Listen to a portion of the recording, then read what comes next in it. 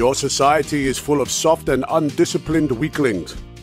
However, I do enjoy the planet's grapes. The grapes are delicious.